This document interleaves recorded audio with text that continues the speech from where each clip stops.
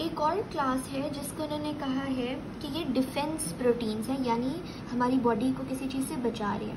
और वो चीज़ क्या है? वो फॉरेन फॉरेन बॉडीज़ हैं, जैसे कि बैक्टीरिया या वायरसेस अब जो बैक्टीरिया और वायरसेस होते हैं उन पे कुछ मार्कर्स होते हैं।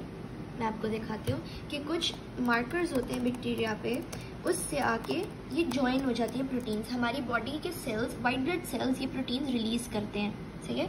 ये वाले सेल्स हमारी बॉडी रिलीज़ करती है। इसका जो ये एक एक छोटे छोटे पार्ट है, ये सब अमाइनो एसिड से मिल के बना है। तो यानी ये भी सब प्रोटीन्स के बने होते हैं। अब हमारे वाइट ब्लड सेल्स ने ये प्रोड्यूस किए, ठीक है?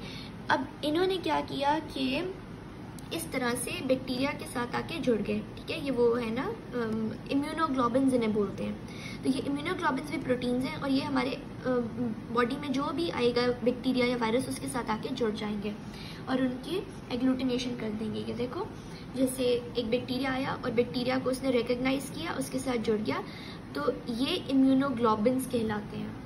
ये डिफेंस प्रोटीन्स है ये हमारी बॉडी को इससे बचाएँगे। अब ये बाइंड करके क्या करेंगे?